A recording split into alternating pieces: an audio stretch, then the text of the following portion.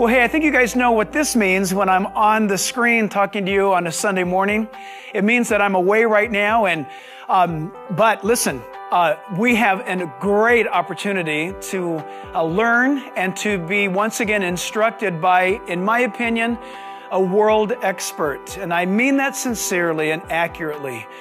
Uh, Jay Smith is no stranger to this church. Uh, this is a man who is a remarkable uh, expert on Islamic theology. Uh, we've had Jay with us before, and every time he's hit the ball out of the park in equipping you on Islam and its advancement and how to respond to Islam uh, as it sweeps the world right now. Islam is, as you know, uh, on a march to establish its caliphate around the world. And uh, there's probably a high probability that you know a Muslim in your life. How do you respond to them, and how can you better understand them? Christian, it's incumbent upon you to know what's happening in our world regarding Islam. And so please give a warm welcome to our good friend, one of our missionaries that we love to support, a great brother, Jay Smith. Excellent. We're gonna we're gonna, I'm gonna do today. I, Jack had me come here all the way from London. No, I've been here in the States now since August, and I've been we had me fly out here just to help you get ready for what's been going on in the news. And we're gonna bring you up to speed as to who this group is called ISIS. What's their agenda? Why are they so popular? Why are so many people joining them? And of course, then what's our response as Christians? Next week, you're going to hear Amir, who's going to show from another side, another angle. My area is Islam, and that's what I've been working with for over 33 years. And it's an area that I continue to work with. And I'm, when I'm in London, I'm at Speaker's Corner every Sunday. I'd be there right now. My, actually, my team is already down there at Speaker's Corner. We, I get up on a ladder and we take on Muslims right, left, and center. And the people that we take on are the radicals, these very people that are causing this problem around the world. So I want to go ahead and start the uh, PowerPoint. And I just want to say, at last service, I saw a lot of people trying to write notes. I speak way too fast, and there are way too many slides for you to keep up. This PowerPoint will be up online for all of you to use. So any of you want to pull it down, feel free to do that, and then slow me right down, and so I, I, at least I talk like a human. Now, let's start with this group called ISIS. But in order to do that, what does your president say? And this is just on the 10th. He said, ISIS, ISIL, he uses the word ISIL, I wish he wouldn't, is not Islamic. Because when he uses the word with the L, he's including the Levant, which also includes Lebanon and also Israel. And I don't think he realizes what he's intending. ISIS stands for Islamic State of Iraq and Al Shams. Al Shams is the Arabic name for Syria. So it's just those two states right now. That's all they have the northeast, northwestern, the eastern part of Syria, and the northern part of Iraq. Your president believes that is, this group is not Islamic. Do you think he's correct? No. Well, goodness, that's unanimous. well, then my job's done. I might as well go home. He uses the word radicals to describe um, ISIS, and he uses the word very well. And I think that's good that he's using that word. I don't think he realizes what that word means. Radical, the word itself in English means root. So a person who's a radical goes back to their root. And that's exactly what ISIS is doing. They're going back to their root. Now, there are many people that believe that this group, ISIS or Al Qaeda before it, or any of these radical groups, are nothing more than a present phenomena. They're very recent. They've only really been created since the uh, creation of the State of Israel in 1948. And they've been exacerbated because of the situations that are happening in Iraq and Afghanistan. Therefore, it's a political problem needing political solutions, which has nothing to do with the church. I disagree. ISIS and radicalism, by nature, by its very definition, has been around since the very beginning. It's been with us for 1400 years. If you have any doubt, just go back to the root and just take a look and see who is at the root. And the root is this book right here, and the model of that root would be Muhammad himself. And just take a look at the model Muhammad and look and see what he did, specifically when he created the Islamic State, the original Islamic State in 624. And from 624 up until 627. Look and see what he did to the Jews just in that three year period, but then continuing after that up until 632 when he died. His whole life was imbued with violence. We'll get back to that. But if you understand, if you want to know where radicalism come from, I'm going to give you a quick history lesson. You need to go back to Ibn Taymiyyah. Ibn Taymiyyah in the 1300s was the one that created the idea of what a true Muslim was. And he said a true Muslim has to follow this book, the Quran, but it's very difficult to follow this book uh, because it's ulta pulta, it's all over the place. There's not any, oh, I'm sorry, there's one complete story in the entire book. It doesn't begin, it doesn't end. Stories are all jumbled. It assumes you to know the person that you're talking about. So it's very difficult to understand. Even the religious scholars don't even understand 20% of it. Therefore, how do you follow this book? You have to follow Muhammad. It's Muhammad, it's the model for this book.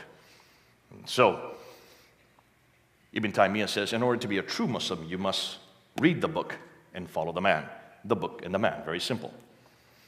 Jump to the 1700s. In the 1700s, there were two men who then took that paradigm. They were both living in Medina at that time in the 1700s. One was named Muhammad ibn Abd al Wahhab, who was from Arabia. The other is named Shah Waliyullah. He was from Indian subcontinent. They were both studying Ibn Taymiyyah's material, going back to the book and the man. Wahab stayed there in Arabia and he amalgamated with the Ibn Saud family, who then had conquered most of the surrounding tribes, had taken over the Arabian Peninsula, and created what is now today called Saudi Arabia, giving their name. But their authority came from Wahab. Wahab was the theological authority for the state of, or the, the uh, family called the Ibn Saud family. And Wahhabism, therefore, has been uh, created using Wahhab's criteria following Ibn Taymiyyah. Waliullah went back to India, started in Patna, and then ended up in Delhi. And there he created a whole other set of madrasas. And then we move into the 20th century. There in the Indian subcontinent, two other men in the last century, Muhammad Ilyas al Kandhlawi, who started what we now know today as the Tablighi Jamaat in 1926, using Waliullah's material, all based on Ibn Taymiyyah's principle of going back to the Quran and following Muhammad. In 1947, when India got its independence, Abdullah al-Maududi, who was part of India, moved into what is today Pakistan and created these madrasas all up and down the Waziristan in the northern frontier. These are madrasas which today are now graduating 1.7 million talibes, 1.7 million students, all started, all reading this book and following the Prophet's example. That's happening in the Indian subcontinent. Muhammad Ilyas Kandhlawi started the Tabligh Jamaat. That group now has grown so big, so strong, that it is considered to be the largest radical group in the world today. It now has a membership of 80 million. 80 million. That's larger than the entire population of Britain. Yet, how many have heard of this name before? We're not even paying attention. We have no idea what we're up against.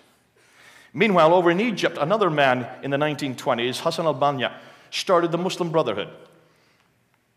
His favorite student was Said Qutb. Said Qutb had memorized this book when he was only 10 years old. You can see the prodigy of this young fellow. He was then used by Said uh, Hassan al-Banna and became the theologian for the Muslim Brotherhood, was imprisoned by Gemal Nata Ataturk, the Pan-Arabist at that time, in 1956. And for 10 years, the last 10 years of his life in prison, he wrote two books, In the Shade of the Quran and Milestones. In the Shade of the Quran takes this book and exegetes verse by verse by verse, applies it to the 20th century, and that has become the textbooks for all radicals around the world. It's been translated into over 26 languages. Said Qutb was also the teacher of Ayman Zawahiri. Ayman Zawahiri was a doctor, another Egyptian doctor, part of the Muslim Brotherhood. He was in prison, then was let out, and he immediately amalgamated. He then came across a man named Osama bin Laden who had an awful lot of money. And they formed together Al Qaeda. Al Qaeda then was invited to go to, uh, to Afghanistan by the Taliban. Who are the Taliban? Remember what I said earlier? These madrasas that are spewing out 1.7 million talibes. Talibes means student in Arabic. The talibes became the Taliban. The Taliban moved into Afghanistan, threw out the Russians, and invited Al Qaeda to set up shop. And you know the rest of the story. Because you know what happened in 2001, September 11th. Now, their teaching and their material is very much the same thing you'll be finding from the Hezbollah, the Hamas, the Muhajirun, the Hizb tahrir These are just many groups that use that same paradigm of coming back to this book, modeled on that man, Muhammad. Today, probably the most popular cleric around the world is this man here, Yusuf al Qaradawi. Yusuf Qaradawi is on Al Jazeera television every night, and he exegetes, he explains the Quran for the world, and that's why Muslims love him, and that's why back in 2004, he was brought to London, my city, by Ken Livingstone, the mayor of Ken, who wanted a moderate voice of Islam to show what true Islam was like. And the first question he was asked at the press conference there at Heathrow Airport was, What do you do with suicide bombers? And his response was, They have no difficulty with suicide bombers. It's part of Islam, providing that the, that the suicide bomber, bombers target Israelis, men, women, or children, or American soldiers. And then, without even being asked, he said it's okay for men to beat their wives, referring to Surah 4, Ayah 34, and it's okay for homosexuals to be given 100 lashes, referring to Surah 24, Ayah 2, which has to do with adulterers. Embarrassing Ken Livingstone, who had invited him there as a moderate Muslim. He should have done his homework. You should have looked and seen where this man came from. This man was trained up by Ayman Zawahiri. He was trained up by Sayyid Qutb. He was part of the Muslim Brotherhood. And he was going right back to Scripture, going back to the book, modeled by the man. Now I want to look at, to look at these two men. Those two men are from London. The man on the right, Asif Hanif, is a friend. He used to come to Speaker's Corner every Sunday. He used to be there in the crowd at Speaker's Corner. I didn't really get to know him personally, but people on my team got to know him. And then suddenly in October of 2002, he disappeared. We were told he was in Syria learning Arabic, a good place to learn Arabic. And then in uh, uh April 30th 2003, his picture and Omar Sharif, not the actor, that's another Omar Sharif, were on the cover of every newspaper. The day before, the night before, they had been in Tel Aviv. They had tried to go into a bar called Mike's Bar, where there was a discotheque going on right on the ocean there in Tel Aviv. They were stopped at the door by bouncers. Asif Hanif pulled the pin on his jacket, blew himself up, and killed three Israeli guards. When Omar Sharif tried to do the same thing with his uh, jacket, the pin pulled, but there was no detonation. It was a dud, so he jumped into the ocean and drowned. And their pictures were on the cover of every newspaper. So that Sunday, I went down to Speaker's Corner. And I wanted to find out if people were talking about these two men. And I held their, pic- their pictures up on my ladder. Nobody was talking about them. But as soon as I held their picture up, I sucked all the crowds from the other groups. And I said, I want you Muslims to come front and center. I want to talk to you Muslims. I said, how many of you Muslims support what these two men did?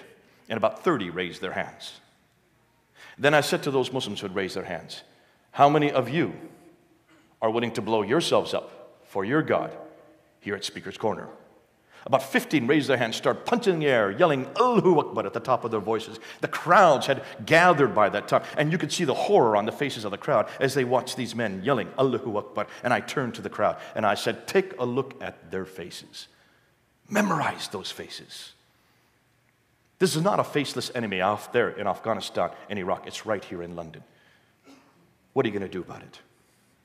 Two years later, four young men came, blew themselves up on three different trains, one bus. Maybe they were in that crowd today. It doesn't matter. I could ask that question even today. I'd get the same response. You heard about that? The backpack bombers. Two weeks later, five other young men had backpacks on their back. They went on five other trains. They tried to blow themselves up. The detonators went off, but fortunately, the, the chemicals inside the bombs had deteriorated and they only blew their detonators. They're now in prison, in Belmarsh Prison in London. We've had the shoe bomber who tried to blow up an Air France. He was from Brixton in South London. The underwear bomber who tried to bomb a plane there in Detroit, he, he got his training there in London. The fertilizer bombers who tried to blow up one of our malls called Bluewater, they were caught before they could do that. They're in Belmarsh. The liquid bombers who try to get onto some planes on Heathrow Airport with liquid bombs, that's why you don't have liquids on board planes anymore. You're not permitted to because of Heathrow Airport and what happened there.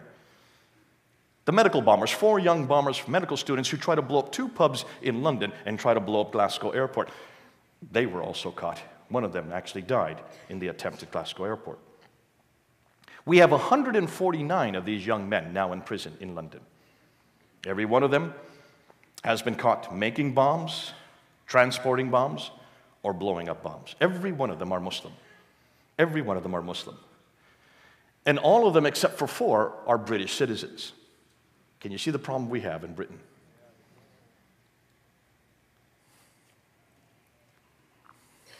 What's their agenda? They look at the West, they say the West is in decline. Culturally, loss of identity. Socially, the breakdown of the family, the real problem with drugs that we have. Morally, look at all the movies and TVs, all the enormous amount of uh, pornography that's on our, our films. There's an awful lot that they can show for that. Spiritually, they say, take a look at, at Europe today, only 5% of the people even go to church. In Britain, it's 7%, a little bit better. Economically, the fact that we use usury in our capitalistic system is anathema for them. And politically, the fact that we allow every man one vote, that we allow everybody a vote. And they say this is anathema. Democracy is never, has never, was never intended by the Prophet, nor by Allah. What's their answer, therefore, they say? They want to eradicate immorality by bringing in Sharia law. We now have Sharia law in Britain. As of 2009, it is legitimate to have Sharia courts. We have 80 Sharia courts now in Britain. They want to eradicate usury interest by bringing in Islamic banking. They want to eradicate democracy by bringing in the caliphate, which is based on a, a, theocratic model of Allah at the top, the caliph underneath, taken from the ulama, which would be underneath that, of the ummah, but underneath that, which would be the believers, under which are the al kitab, which are us, and at the very bottom would be the kafirs. That's a theocratic model. That's the exact same model that we see Ibn Taymiyyah preaching, following the example of the Prophet himself. And they want to eradicate Western militaries and replace it with the Ummah, the believers. They want to use three different stages, and this is what almost all the radicals use, and they follow the example of the Prophet himself. The Prophet who lived in Mecca and from 610 to 622 received the Meccan revelations. That was the first stage, and they're doing that now in Europe, and they're doing that here in the United States. That's the, called the pen stage, where they use pens, they use, they use writings, they use uh, all kinds of media, DVDs, getting up on the internet, YouTube, to try to show their message and to try to confront those who stand against them. After Muhammad moved to Medina in 622, for the first two years, then he tried to impose regulations, try to create a relationship with the Jews. And that's the second stage. They call it the scale stage. That's where they impose laws, rules, and regulations. That's already begun in Britain. It hasn't yet begun here. And then in 624, when the Jews finally rejected him, he rejected the Jews. And then after that time, he then started confronting the Jews. And after the Battle of Badr, he threw out the first Jewish tribe, the Banu Qaynuqa family. And that's sword, the, uh, the sword began. I'll talk more about that later. That, they say, has now begun with 9 11 and 5 5, or 7 7, excuse me, what we have, our number for July the 7th, 2005. But where do they get their authority? Two sources. They go back to Scripture to get their authority, and they come back to the prophet himself. So let's look at Scripture. When you look at Scripture, one of the first things I always ask my Muslim friends, whenever they tell me that Islam is a religion of peace, or when Obama says that ISIS, because it's violent, is not Islamic, I ask them to go back and support that in Scripture. And you can do the same. Ask them, where are those peaceful verses? Show me a verse that says they're to have peace with me. Usually they start with Surah 2, Ayah 256. For there is no compulsion in religion. I hear that repeated all the time, but I always ask people if that's your verse, why don't you read the rest of the verse? The rest of the verse in verse 256 and also the next verse that follows, 257, is very clear that that has nothing to do with us. It has nothing to do with whether or not to have peace with me. It's to be peace with themselves. In fact, it's very clear that it has to do with Muslims who either reject or accept Allah. And if they reject Allah, great will be their perdition, for they will be in hell. Now tell me if there's no compulsion. What's more, we have what we call in the Quran a law of abrogation because there are so many conflicting verses, over 225 conflicting, contradicting verses. It, a law of abrogation is included in the Quran in Surah 2, Ayah 106, in Surah 16, Ayah 101. It says if you have two verses that, that are conflicting, one is mansukh, that's weak, the other is nasikh, that's strong you always go with the later verse. There's 101 verses that come after Surah 2, Ayah 256, that abrogate it. So you cannot use Surah 2, Ayah 256 in the context of peace. They usually then go to Surah 2, Ayah 190. Those who fight you do not transgress limits. Well, I would like to ask, what limits are you not to transgress? Read the rest of the verse and slay them wherever you catch them and fight them until they prevail faith in Allah. So, what limits are there to transgress once you've just slayed them? Not very peaceful after all, once you look at the context and read the rest of the verse. So then they love to go to Surah 5, ayah 31 and 32. The story of Cain and Abel. Cain kills his brother Abel, doesn't know what to do with the body. He sees a raven burying his partner, so he follows the example of the raven and buries his brother. And then in verse 32, you have this verse which says, We ordain for the children of Israel that if anyone slew a person, not in retaliation of murder or to spread mischief in the land, it would be as if he slew the whole people. And if anyone saved a life, it would be as if he saved the life of the whole people. That sounds pretty redemptive, doesn't it? Kind of peaceful. I asked my radical friends, So, how would you exegete this verse? Well, they said, Well, hold on a minute. Who are the people it's referring to? It has to refer to us. Therefore, put Muslim there. Then they read it that if anyone slew a Muslim in Chechnya or Bosnia or Iraq or Afghanistan, not in retaliation or murder, it would be as if he slew all Muslims, including me. And it's, if anyone saved the life of a Muslim in Chechnya or Bosnia or Iraq or Afghanistan, it would be as if he saved the life of all Muslims. And they all turn to me and say, therefore, that's why we go and we join up wherever the state, wherever Muslims, even individual Muslims, are being threatened because of Surah 5, Ayah 32. Is that a good interpretation of that verse? Who cares if you're not going to read the first part? Look what the first part says. We ordained for the children of Israel. This has nothing to do with Muslims. And if you're going to throw that out of the verse, then you can exegete it any way you want, either peaceful or violently. But then they asked me to come back to Surah 9. Surah 9 is the last chapter that was revealed to the prophet according to Islamic tradition, in 632. Therefore, it's the most important chapter. It's the one that abrogates anything that comes before. Surah 9, Ayah 5. But when the forbidden months are past, then fight and slay those who join other gods with Allah, wherever you find them. Besiege them, seize them, lay in wait for them with every kind of ambush. Does that sound very peaceful to you? Especially when you know those who join other gods with Allah, the word in Arabic is mushrikun. And many of us think that we are mushriks because we uh, take Jesus and supposedly we elevate him to the status of God. We are mushriks, so that would have to do with us. How now? How does that make you feel? If you don't like that one, go on a few verses to verse 29. Make war upon such of those to whom the scriptures have been given. That's us. They're to make war upon the Ali Kitab. We are the Ali Kitab. What about how are they to do it? When you encounter the unbelievers, strike off their heads. Cut off their heads. That's where the authority comes from, from wiping and taking off the heads of the journalists. And now the UK man, yes, yesterday. Surah 8, 33, 38 to 39. Unbelievers, and fight them on until there is no more tumult or oppression, and there prevail justice and faith in Allah. These are the two verses that stipulate more than any other that they are to use violence.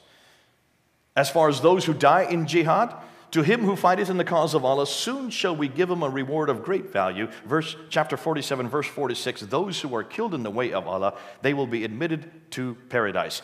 Remember, in Islam, there is no assurance of salvation. Muslims only hope that they are saved. They have no assurance whether or not they're going to be able to cross that Sirat bridge, that rib, that razor sharp bridge over into paradise. Allah can throw them down into hell at any time.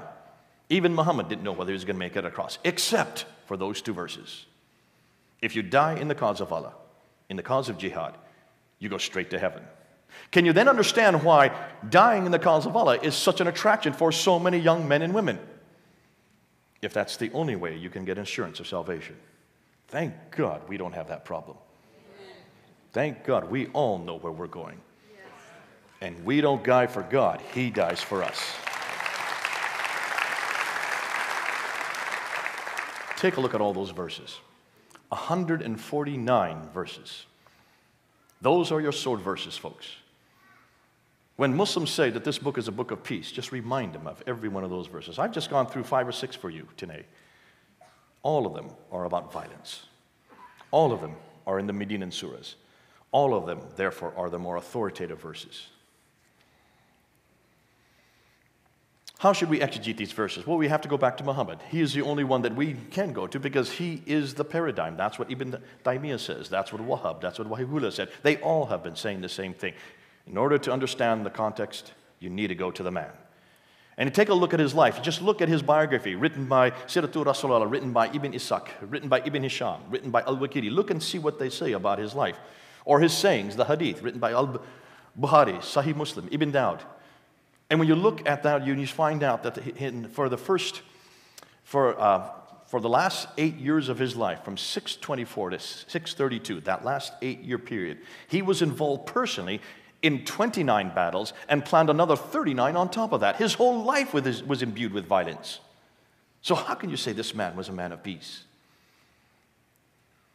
Those who stood against him, those who were under his authority, the Jews that were there in Medina. Remember, the Jews were from Medina. Muhammad was not from Medina, he was from Mecca. He went there on invitation by the Ansar. Within two years of arriving in Medina, he started confronting the Jews. In 624, after the Battle of Baghdad, after he'd been there for two years, he then came to the Banu Qaynuqa family, threw them out. A year later, when the Meccans tried to come back and, and uh, revenge against the Battle of Badr, which they lost, um, he then came back after that battle, having lost the battle. That was Muhammad lost the battle, got angered by the Jews that were there, and threw out the Banu Nadir family. And then two years later, in 627, after the Battle of the Trenches, he came to the last remaining Jewish family, the largest Jewish family, the Banu Qurayza family. They could not stand against him, and so he took all 800 men gave them spades, had them dig trenches, lined them in front of the trenches, and then slit their throats. All in one afternoon. That's the example of the prophet. I can give you four different sources for that Ibn Hisham, Al Waqidi, both from the Sirah, Al Bukhari from the Hadith, and Al Tabari from the Tafsir. Four different authorities, authorities, three different genres. This is not our material, this is their material. Those who criticized him, Asma was a poetess who criticized him in poetic verse. He said, Who's going to take care of this poetess for me? When he first moved to Medina, one of his disciples went that night, and as she was suckling her baby in the middle of the night, he stabbed her through the heart, came back the next morning, told Muhammad what he had done, and Muhammad praised him for supporting his prophet. 25 people he assassinated, and their only crime, their only crime, was criticism of him. Can you then understand why Muslims, when the Danish cartoons came out there in Denmark, all over the world, Muslims rioted and 17 people lost their lives because of their example? They were following their example, Muhammad. With these scriptures and the example of the Prophet Muhammad, can you then understand why so many within Islam today are saying what they are saying and doing what they are doing? Their authority, they believe, is that of Holy Writ, a divine authority modeled by the greatest and clearest paradigm for mankind, for all peoples, all places, and for all times, including Iraq and Syria today. So let's unpack ISIS and let's see just how Islamic they are. The Islamic State of Iraq in Al Shams. That's their flag. But this is the man that's leading them Abu Bakr al Baghdadi. On the upper left hand side, you can see what he was like as military leader. And then, as he then took over Iraq, he then appeared in Mosul three weeks ago, four weeks ago now, and he preached at the largest mosque in Mosul to now show his religious authority. Who is this man? Well, he's from Iraq. He's from Samarra, just in a, a suburb of Baghdad. That's why they call him al Baghdadi. He has a PhD in Islamic studies from the Islamic University of Baghdad. He has a PhD in both Islamic law and theology. This man knows his material like no one else. That's why he's so dangerous. You can see immediately what he did. As soon as his ragtag of men, well, only about 800 when he started six weeks ago, when he came across out of Syria, moved into Iraq. They came in jeeps and trucks with their black flags, with the Shahada on the top of the flag. And they immediately did a blitzkrieg right across northern Iraq, coming down through the two rivers. They followed the Tigris in the north and the Euphrates in the south. And they took over Mosul and Tikrit and Samarra. They took over Qaim. They took over Ramadi, Fallujah. They went all the way to the, to the suburbs of Baghdad. And the reason they were able to do that so quickly is because we, or you, as Americans, destroyed Iraq, gave a democratic vote to all the people. Knowing that 60% of the people were Shiites, they, of course, won the elections. Al Sistani won the elections. He's a Shiite, hated by the Sunnis. He then, let, he then made his, put his own man in power, Al Maliki, and Maliki, one of the first things he did was to get rid of all the officers, all the generals who were Sunni, and replace them with Shiite officers who had no experience, were not at all aware of how to lead an army, And they were the ones that met ISIS when they came across the borders. Of course, you know what happened next. They just decimated ISIS. I'm sorry, ISIS just decimated the Shiite military. The Shiite military took off their uniforms, laid down their weapons, all of which were American weapons, left their bases, and went home. When al Baghdadi came with all his men, they went into those bases, they went into the offices, opened up the, the, the, filing cabinets, and found the addresses for every one of those men, went to their houses and arrested every one of them, as you can see in the pictures there, and then they brought them out in humiliation, beating them as they did, and they took them out into the desert, gave them spades, had them dig trenches, and then they mowed them down, 1,700 in one case at one time, and they filmed everything they did. Why did they film it? Was it for your sake? For your president's sake? This had nothing to do with us. The reason they filmed it is so the Muslims around the world could see what they were doing. Because they were doing exactly what Muhammad did to the Banu Qurayza in 627, Baghdadi was doing in 1204. And instead of using knives, they now use AK 47s. Following the exact example of the Prophet himself. Then they went to Mosul. Now remember, Mosul was a Christian town. Mosul has had Christians in it for 2,000 years. They went into Mosul and they attacked the, uh, the, uh, the banks, took all the money out of the banks, and some say as much as $2 billion. What a war chest they have. And then they went to the Christians. And they had, they painted on all their doorstops the noon sign, which is just the letter noon, which is the first letter of the name Nazariya. I want this gentleman here just to stand up. Take a look at his shirt. He is wearing that symbol in solidarity, I assume. I think we all need to buy shirts like that. See, that is the noon sign that the Prophet Muhammad used in the 7th century. That's the sign to designate who is a Christian. It's the Quranic name, Nazari, that you find uniquely in the Quran for Christians. We are Nazarene or Nazarun. Put them on the doorstops of all the houses there in Mosul, and then he gave them three options either to convert or to pay the jizya tax. The jizya tax is uniquely for Christians and Jews. You can find that in the Quran in chapter 9, verse 29, Surah 9, ayah 29. Now, the jizya tax depends on how is given is levied depending on how rich you are. If you're a poor family, you only pay 20%. If you're a medium income, you pay 40%. If you're a rich family, you pay 80%. But the Muslims only pay the zakat, which is 2.5%. 2.5 for Muslims, 20 to 40 to 80 for Christians. If they refuse to pay the jizya, then they would be killed. Convert, pay the jizya, or die. Now, the Christians in Mosul took a fourth option they fled. So that today there are no Christians left in Mosul. Baghdadi is not from Mosul, just like Muhammad was not from Medina. The Jews lived in Medina, they were there for many generations. The Christians have lived in Mosul since for 2,000 years. Baghdadi has thrown all the Christians out. The only Christians that are left now are the old and the infirm. People are now wearing these shirts now to support them and show solidarity with them. And we also need to say, if you're going to kill them, we kill us as well.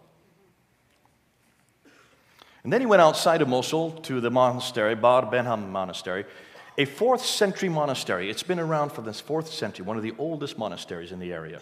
He went inside the monastery, threw out the priests, only let, let them take the shirts on their back. And then he went and destroyed the relics, and then he burned the manuscripts, the biblical manuscripts the oldest Chaldean manuscripts in the world, 17th century manuscripts. How many of you knew about it? How many of you complained? Did your government complain? Has the church complained? These are some of our oldest manuscripts, destroyed three weeks ago. He went to the churches that were there in Mosul and took down the crosses and put up his flag. And there you can see pictures of it up there on the screen. Now, this group that has been only started with 800 has now grown to 31,000 in just six weeks. Where are they getting them from? Many of them are from Iraq, many of them are Sunnis who are now joining them. But look and see the numbers that are now, these are the estimated numbers that are coming from around the world. Most of them in Europe are coming from Belgium and Denmark and France, as far away as Australia Norway. And take a look how many of them are coming from Jordan, Tunisia, Lebanon. These are all Muslims who are joining them. Why are they joining him? Because of who this man is and what he's doing. And the fact that he films everything he's doing, proving that he is not just any other Muslim, he is following exactly the model of the Prophet based on this book. He's doing what Ibn Taymiyyah says all Muslims should do. That's his popularity. This is what your government doesn't want to tell you. This is what Obama has no idea of. He has no idea what he's up against. These are some of the pictures of those who have joined them from Chechnya, Minneapolis, USA, German, French, Australian, Welsh. So, who must confront ISIS? Well, you would say it's the state. That's their responsibility. This is a political problem. It needs political solutions, and the only ones who can do that are the military. That's why we elect them to office. That's why they're there to protect us to secure us. And US is doing a very good job. Finally, I think US woke up. They uh, helped the Yazidis who were, who were being uh, pushed up into Sinjar Mountain, 40,000 of them. Finally, the US sent its uh, F 16s and its F 18 Hornets from the USS uh, George Eisenhower there in the Gulf. They sent their drones up and they were able to push back the Yazidis.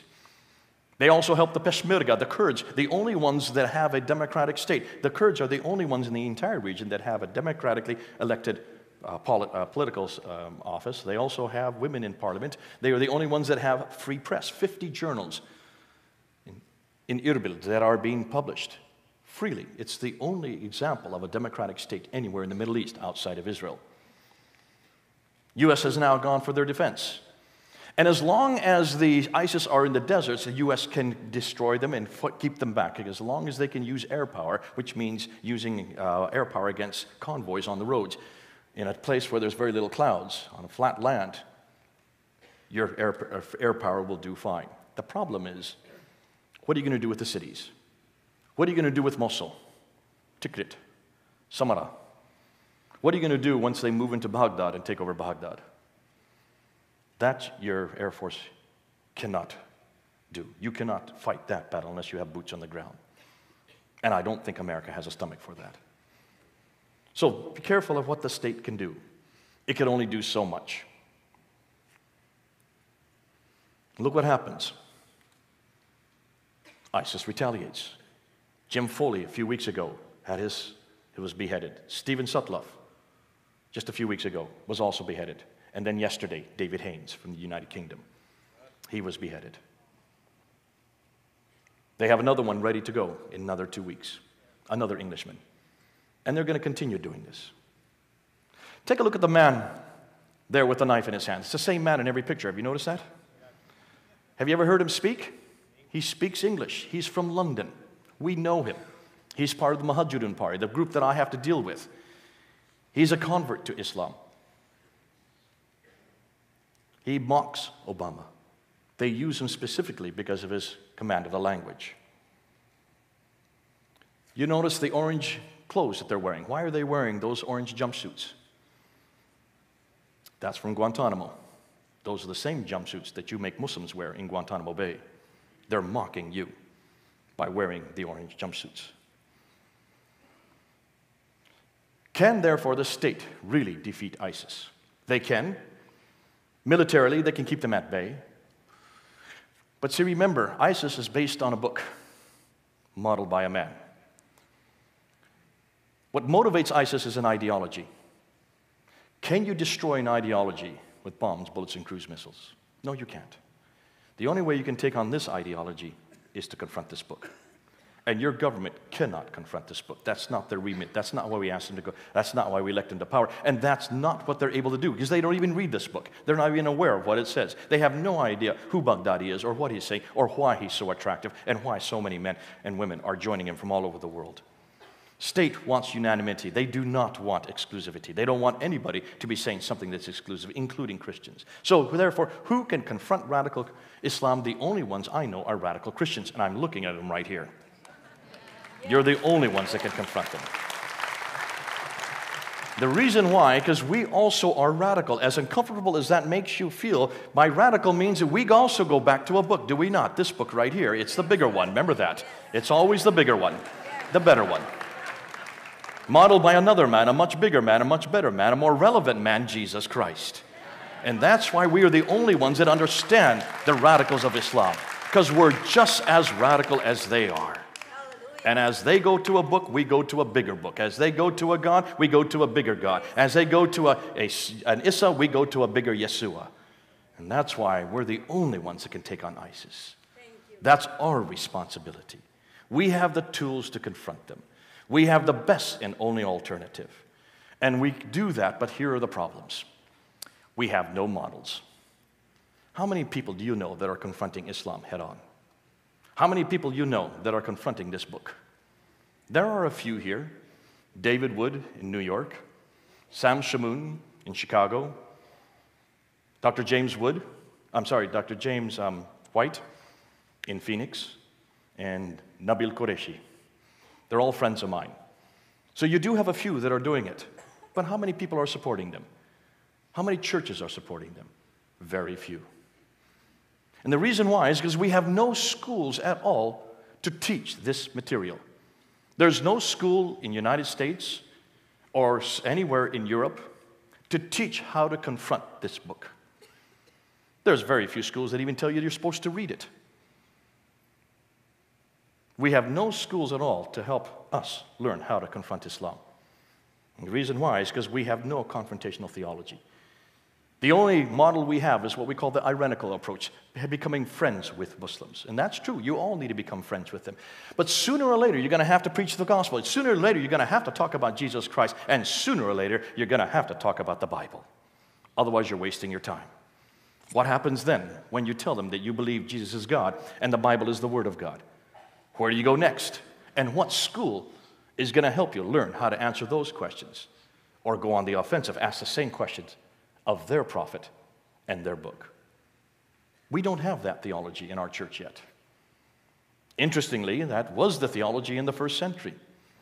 It's very much the theology that's used all over the church in chapter 15 to chapter 17 of Acts. Just read those three chapters, and you will see a confrontational theology, certainly by Jesus himself, before the Acts was written, where he confronted the uh, money changers there in the temple, and he certainly confronted the Pharisees in Matthew chapter 13 verses, I'm sorry, Matthew chapter 23, verses 13 to 33.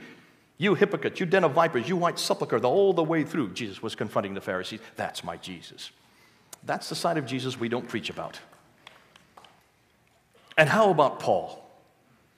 In Laodicea, Cappadocia, Berea, Ephesus, every city he went, he went right to the synagogue and he confronted the Jews with what they had done to the Messiah. That's my Paul. Oh, they threw him into prison. He was spat upon. He was beaten up. He was whipped. Twice they tried to stone him to death. He just got up after that and went to the next city and started it all over again. He caused a riot there in Ephesus, and finally he was killed there in Rome. That's my Paul. Where are we getting our Pauls today? Why can't we confront like Paul confronted? Because we're fearful. We fear Islam. We've become timid. We've become shy. We don't know what we believe. And we cannot defend what little we know. Those are the three, four things I hear from my radical Muslim friends. Whenever I ask them, What's your definition of a Christian? Timid, shy, knows little, and can defend little. What an indictment against us. That's the way we come across. Because that's all we're taught. We have no confrontational theology. Yet we have by far got the best material we have by far got the best material. When you take a look and see the Bible, when you just look at this book here against this book, take a look and see we win every discussion. In two weeks, I'm going to be doing a debate in Toronto where I'm going to destroy this book.